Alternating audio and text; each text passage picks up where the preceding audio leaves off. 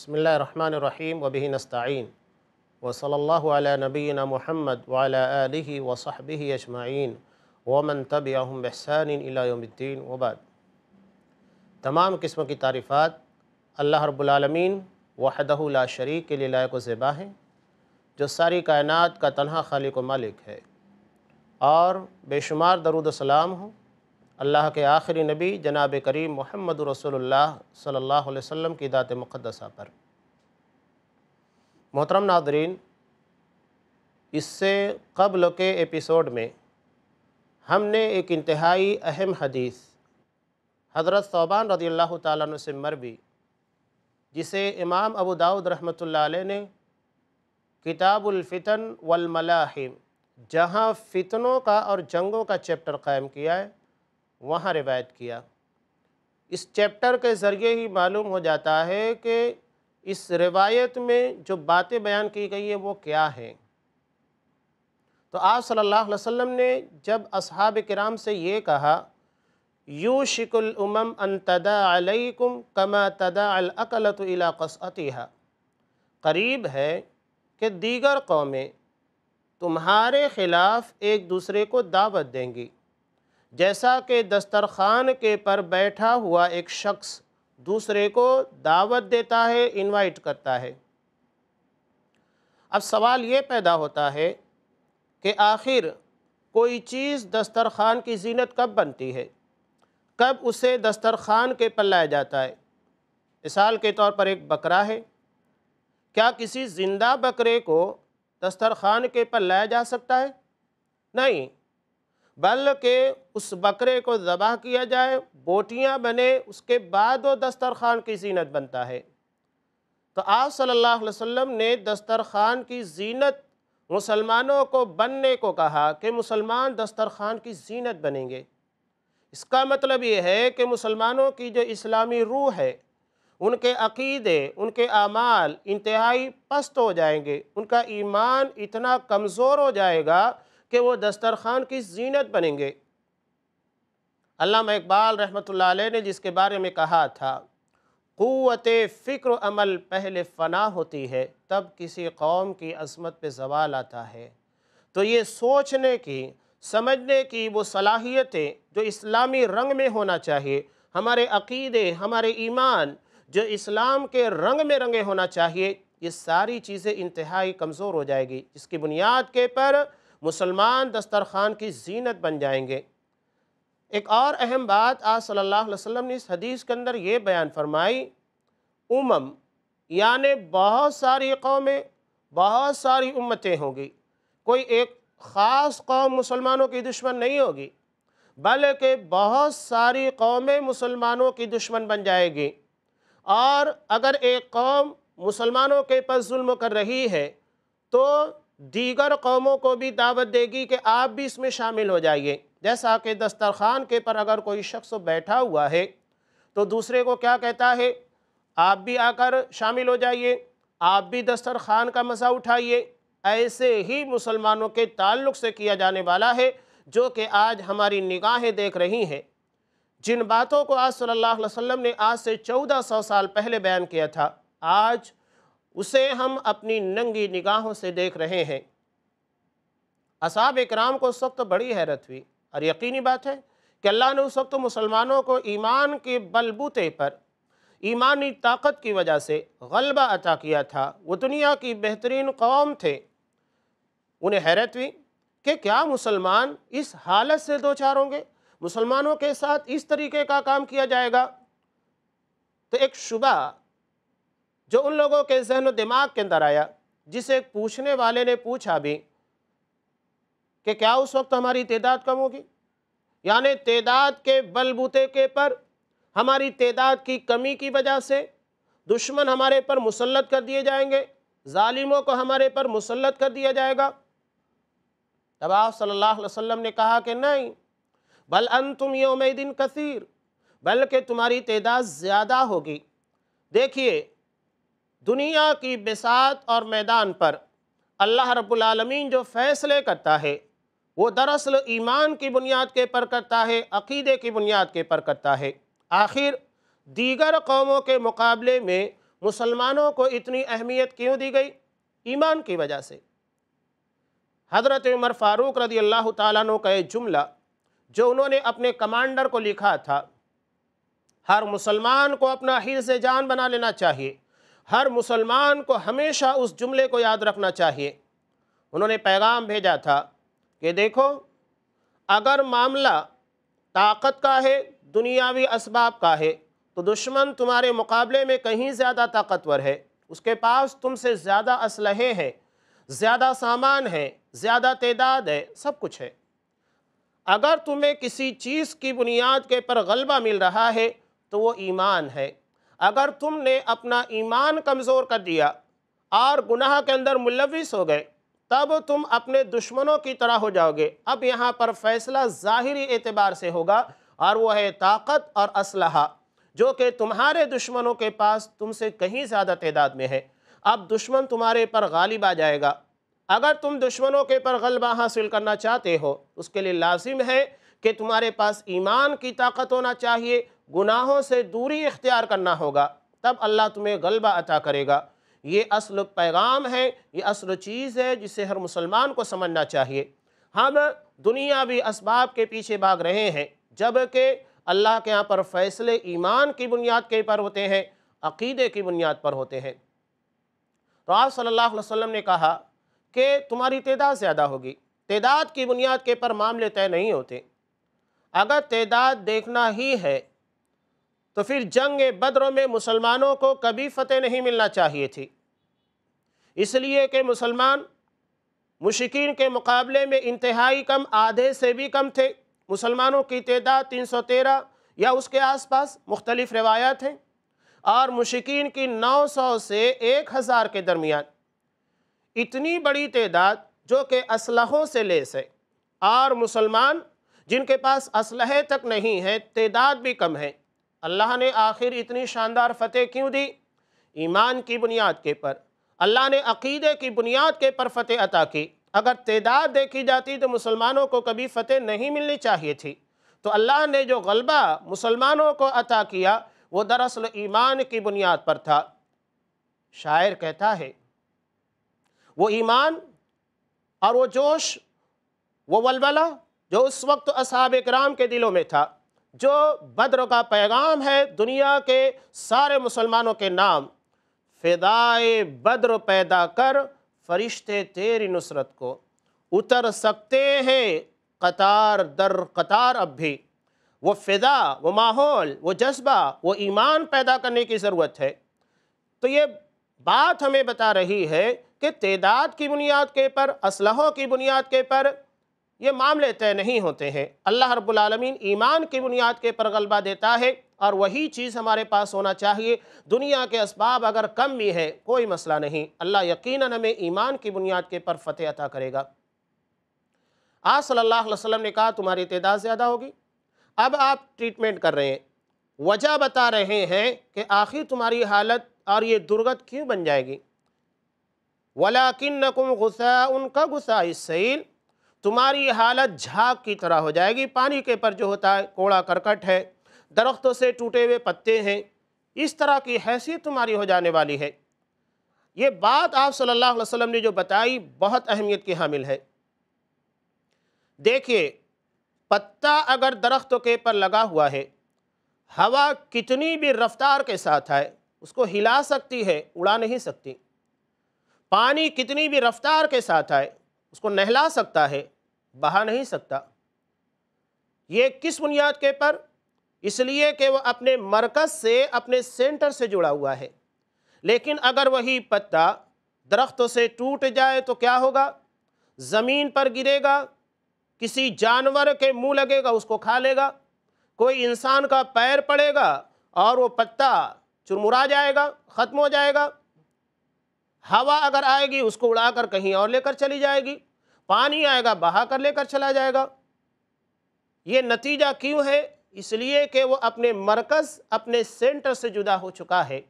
آپ صلی اللہ علیہ وسلم نے جو مثال دی ہے، بہت اہمیت کے حامل ہے۔ اور دوسری بات جو ہماری سمجھ میں آتی ہے، جھاگ ہے۔ کیا حیثیت ہوتی ہے اس کی؟ تھوڑے دیر میں پانی کے پر ہوتا ہے۔ ہوا اسے دبا دیتی ہے، اڑا دیتی ہے۔ کچھ دیر کے بعد ختم ہو جاتا ہے۔ اور کوڑا کرکٹ، کچرے، اس کی ایسے بھی کوئی اہمیت نہیں ہوتی ہے۔ پانی اپنی مرضی سے جہاں بہا کر لے جانا چاہے، بہا لے جاتا ہے۔ جہاں لے جا کر کنارے لگانا چاہے، لگا دیتا ہے۔ اس کی اپنی کوئی حیثیت نہیں ہوتی ہے کہ اپنی مرضی سے کہیں رک جائے، اپنی مرضی سے کہیں چلا جائے، اپنے اختیارات ختم ہو جاتے ہیں۔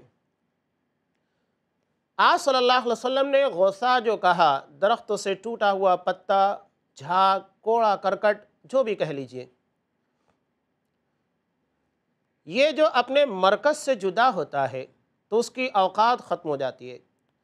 اب مسلمان اپنے مرکز سے جدا ہو جائیں گے، یہ آپ صلی اللہ علیہ وسلم کہہ رہے ہیں۔ اس بات کو سمجھنا ہمارے لیے انتہائی ضروری ہے۔ جنگ عہد میں مسلمانوں کو شکست سے دوچار کیوں ہونا پڑا؟ یا یوں کہہ لیجیے کہ فتح کیوں نہیں مل پائی؟ یا فتح مل چکی تھی، چھین کیوں لی گئی؟ وجہ تھی بنیادی نبی کریم صلی اللہ علیہ وسلم کے حکم کی نافرمانی، جو آرڈر آپ نے دیا تھا، اس کو نہیں مانا گیا۔ اس کے پر عمل نہیں کیا گیا، نتیجہ یہ نکلا کہ فتح ہاتھوں سے چھین لی گئی۔ یہی وجہ آج عملی زندگی میں مسلمانوں کی پائی جاتی ہے۔ آپ صلی اللہ علیہ وسلم نے مسلمانوں کے لیے دو مرکز دیے تھے، دو سینٹر۔ جس سے ایک مسلمان کو کنیکٹ رہنا ہے، جڑے رہنا ہے۔ جہاں سے ہمیں ایمان کی پاور ملتی ہے، وہ ہمارا ایمانی پاور ہاؤس ہے۔ ہم دیکھتے ہیں کہ دنیا میں لائٹس ہیں، پنکھے ہیں، بہت ساری چیزیں آج پاور کے پر ٹکی بھی ہیں۔ یہ کب تک حرکت میں ہوتی ہیں؟ جب تک یہ اپنے مرکز سے اپنے پاور ہاؤس سے کنیکٹ ہوتی ہیں۔ اگر وہاں سے کنیکشن کو کٹ کر دیا گیا، نتیجہ کیا نکلے گا؟ یہ چیزیں کتنی بھی اپنی جگہ کے پر شاندار بنائی گئی ہیں، وہ حرکت نہیں کر سکتی، لائٹ جل نہیں سکتے، پنکھے چل نہیں سکتے۔ اس لیے کہ وہ مرکز سے جدا ہو چکے ہیں۔ یہی معاملہ مسلمانوں کا ہے کہ ہم بظاہر کتنے بھی شاندار بن جائے، ہمارے رہن سہن، ہمارے طریقے، ہمارے لباس، ہماری سوسائٹیز کتنی بھی شاندار ہو جائے۔ لیکن اگر وہاں ایمان کی پاور، ایمان کا کنیکشن نہیں ہے، کوئی فائدہ نہیں۔ سب چیزیں بے معنی ہیں۔ آپ صلی اللہ علیہ وسلم نے مسلمانوں کے لیے ایمان کا پاور ہاؤس سینٹر اور مرکز دو چیزوں کو قرار دیا، جسے امام حاکم رحمۃ اللہ علیہ نے اپنی مستدرک میں کتاب العلم کے اندر حضرت ابو حریر رضی اللہ تعالیٰ عنہ سے روایت کیا۔ یہ بات آپ صلی اللہ علیہ وسلم نے کئی موقعوں کے پر بیان کی، حجت الوداع کے موقع پر بھی اور دیگر مواقع پر بھی۔ انی قد ترکت فیکم شیئین، لن تضل بعدہما میں تمہارے درمیان دو چیزیں چھوڑ کر جا رہا ہوں۔ لن تضل بعدہما، اس کے بعد تم کبھی گمراہ ہونے والے نہیں، ہرگز گمراہ ہونے والے نہیں۔ وَلَن يَتَفَرَّقَا، اور یہ دونوں چیزیں ایک دوسرے سے کبھی جدا نہیں ہوگی۔ کتاب اللہ و سنتی، یہ اللہ کی کتاب اور میری سنت ہے، میرا طریقہ ہے، جسے میں نے اللہ کی کتاب کو واضح کرنے کے لیے جو احکامات اللہ کی کتاب میں دیے تھے، اسے بیان کرنے کے لیے، کھول کر بیان کرنے کے لیے آپ کے سامنے بتلائے ہیں، جسے سنت رسول اور حدیث رسول صلی اللہ علیہ وسلم کے نام سے جانا جاتا ہے۔ وَلَن تفرقہ اور یہ دونوں ایک دوسرے سے کبھی جدا نہیں ہوں گے، ایک دوسرے سے ہمیشہ ٹچ میں رہیں گے۔ قرآن اگر لا ہے تو حدیث بائی لاز ہے، قرآن اگر اصولی کتاب ہے تو حدیث اس کی تشریحات ہے۔ ہم ایک دوسرے کو کبھی جدا نہیں کر سکتے۔ یہ کہیں کہ صرف قرآن کو مانا جائے یا صرف حدیث کو مانا جائے، نہیں۔ یہ دونوں چیزیں ایک دوسرے کے ساتھ جڑی ہوئی ہیں۔ کبھی اس کو علیحدہ نہیں کیا جائے گا۔ کب تک اس کو علیحدہ نہیں کیا جا سکتا؟ حتی یرید علی الحود یہاں تک کہ بروز قیامت، حوض کوثر کے پر بھی یہ دونوں چیزیں ایک ساتھ میرے سامنے آنے والی ہیں۔ اس لیے کہ قرآن کو بیان کرنے والا کون؟ نبی۔ حدیث کو لوگوں کے درمیان بیان کرنے والا کون؟ نبی۔ قرآن بھی نبی کریم صلی اللہ علیہ وسلم نے پیش کیا اور حدیث کو بھی۔ ایک ہی زبان سے دونوں چیزیں نکلی ہے تو یہ کیسے ہو سکتا ہے کہ قرآن کو لے لیا جائے اور حدیث نہ لی جائے یا حدیث کو لے لیجیے اور قرآن کو نہ لیا جائے؟ نہیں۔ آپ صلی اللہ علیہ وسلم نے دونوں کو سختی کے ساتھ، مضبوطی کے ساتھ تھامنے کا حکم دیا ہے۔ یہ دو چیزیں جو آپ صلی اللہ علیہ وسلم نے دی۔ اور کہا کہ لن تضلوا بعدہما، اس کے بعد تم کبھی گمراہ نہیں ہوگے۔ یہ جملہ اس بات کی عکاسی کر رہا ہے کہ مسلمانوں کی گمراہی کی اصل وجہ کتاب و سنت، قرآن و حدیث کے احکامات کے پر عمل سے دوری ہے۔ قرآن نے، حدیث نے جن چیزوں کے کرنے کا حکم دیا، ہم نے نہیں کیا۔ جن باتوں سے انہوں نے منع کیا، ہم نے وہ چیزیں کیں۔ اس کے نتیجے میں آج ہم اپنے ایمان سے اور اپنے مرکز سے جدا ہو چکے ہیں اور اس کے نتیجے میں آج صلی اللہ علیہ وسلم نے کہا، غصہ، تمہیں غصہ بنا دیا گیا ہے، کوڑے کرکٹ کی طرح بنا دیا گیا ہے، جھاگ کی طرح بنا دیا گیا ہے، اپنے مرکز، اپنے سینٹر سے جدا ہونے والے پتے کی طرح بنا دیا گیا ہے۔ اور وہ نتیجہ آج ہمارے سامنے ہے۔ جب سے ہم نے اپنے مرکز کو، قرآن و حدیث کو چھوڑا، اس کے پر عمل نہیں کیا، کتنی باتیں ہیں جو بیان کی جائے۔ ایک آدمی اگر اس کی زندگی میں کوئی اختلاف ہو جائے، گھر کا کوئی مسئلہ پیدا ہو جائے، ہم کہاں جاتے ہیں؟ کیا ہم اپنے فیصلے قرآن و حدیث کے مطابق کرواتے ہیں؟ جو اللہ نے حکم دیا، جو رسول اللہ صلی اللہ علیہ وسلم کی سنت بیان کر رہی ہے، یہ خود ہمیں اپنی زندگی کے معاملات کے پر غور کرنے کی ضرورت ہے۔ تب سمجھ میں آئے گا کہ کتنا ہم اللہ کے اتارے ہوئے قانون کے مطابق چل رہے ہیں۔ اور کتنا اپنے فائدے اور مفاد کے لیے دیگر قوانین کے پر عمل کر کے اس بات کو ظاہر کر رہے ہیں کہ ہم قرآن کو ماننے والے ہیں، حدیث کو ماننے والے ہیں یا تو کسی اور حکم کو ماننے والے ہیں۔ تو یہ قرآن و حدیث سے دوری کا نتیجہ ہے جو آپ صلی اللہ علیہ وسلم نے بیان کیا۔ یہ تو ذاتی طور پر تھا۔ یعنی قرآن اور حدیث کی باتوں کو اپنے پر نافذ کرنا، اپنی زندگی، اپنے معاملات میں۔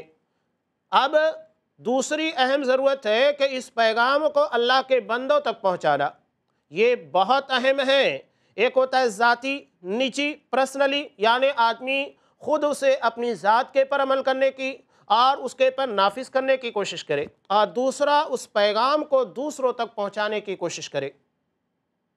یہ بہت اہم چیز ہے جس کو ہمیں سمجھنا ہے، جسے ہم دعوت اور تبلیغ کے نام پر پہچانتے ہیں۔ جسے دعوت و تبلیغ کے نام سے عوام الناس جانتی ہے۔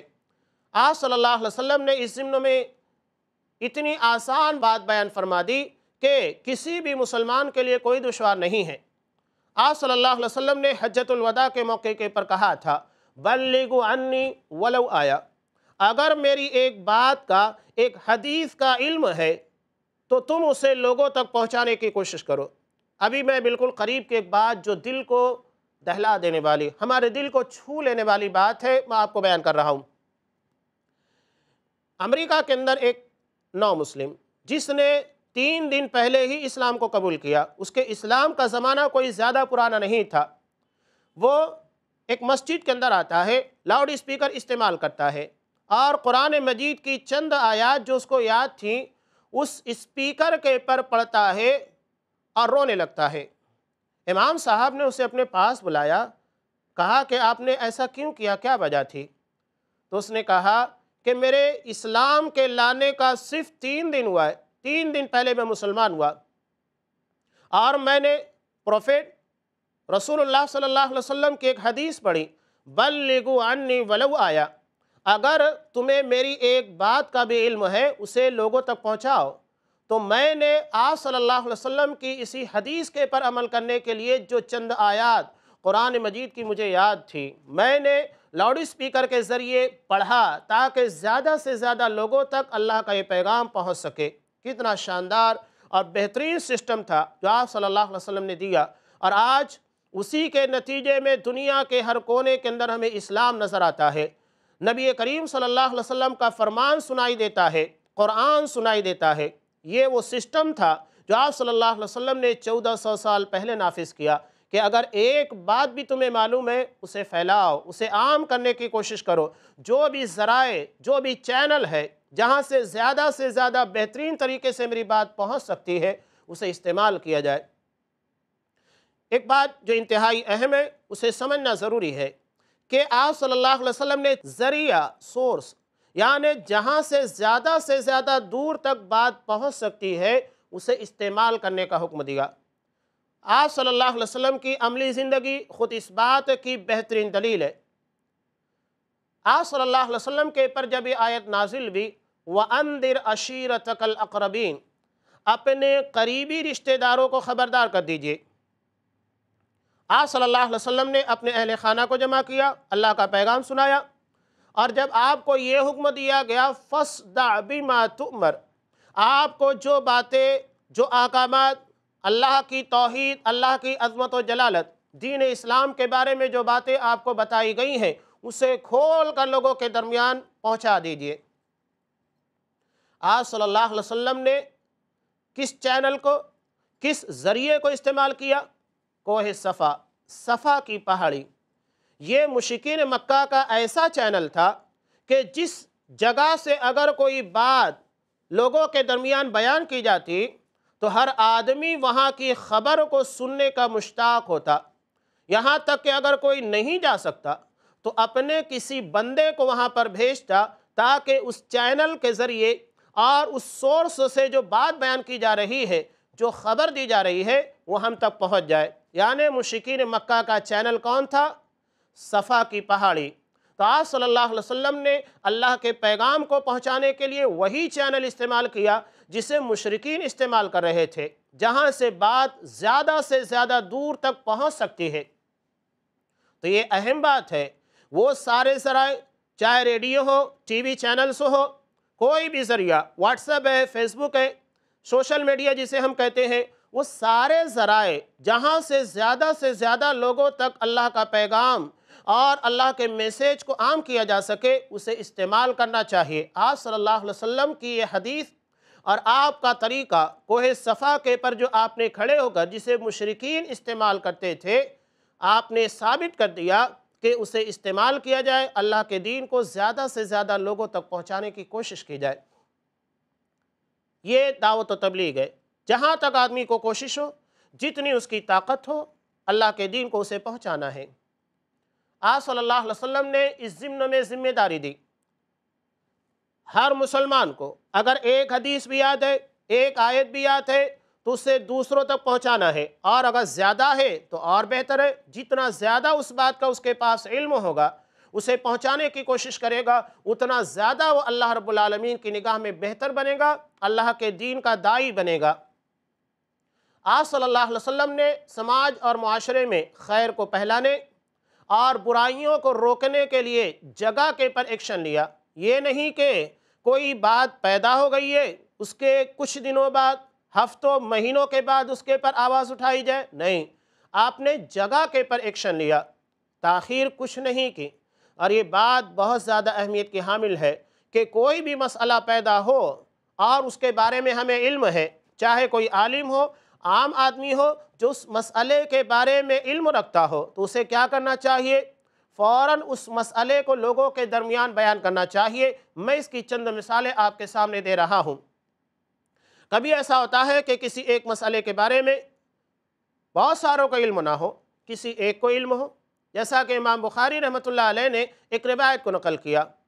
حضرت عمر فاروق رضی اللہ تعالیٰ عنہ اصحاب اکرام کے ساتھ جب ایک گاؤں کے پر اٹیک کرنا چاہ رہے تھے۔ تو وہاں جانے کے بعد انہیں معلوم ہوا کہ اس گاؤں کے اندر تعاون کی بیماری پھیلی ہوئی ہے۔ اب یہاں مسئلہ یہ پیچیدہ ہو گیا کہ اس گاؤں میں جائیں یا نہ جائیں۔ اصحاب اکرام کی مختلف رائے تھی۔ کچھ دیر کے بعد جب اصحاب اکرام کے درمیان اس بارے میں ڈسکس ہو رہی تھی، بحث ہو رہی تھی حضرت عبد الرحمن ابن عوف رضی اللہ تعالیٰ عنہ آئے اور انہوں نے نبی کریم صلی اللہ علیہ وسلم کی ایک حدیث بیان کی۔ کہا کہ آج صلی اللہ علیہ وسلم نے اشارت فرمایا، جس بستی میں تعاون پھیلا ہے، تو اس بستی کے رہنے والے اپنی بستی کو چھوڑ کر باہر نہ نکلے اور باہر کے لوگ اس بستی کے اندر نہ جائیں، جیسے ہی آپ صلی اللہ علیہ وسلم کی حدیث آ گئی۔ فوراً حضرت عمر فاروق رضی اللہ تعالیٰ عنہ نے اصحاب کرام کو مدینہ واپسی کا حکم دے دیا۔